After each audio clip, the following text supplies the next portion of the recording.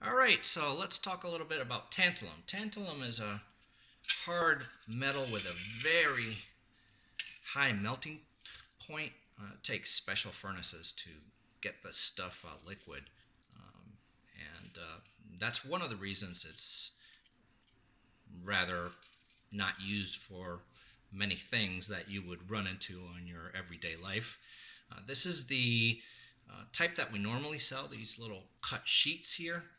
As you can see, they're um, kind of squarish uh, and they sell by the gram. This is the most affordable type. Uh, once you start moving up into solid pieces, uh, here we have one that's about, I think, 100 grams. I could be wrong. Uh, it's a very nice looking metal with an almost purple tint to it. Tantalum can be considered a semi-precious metal because it's it has the qualities that make it um, that shares with other precious metals such as rarity.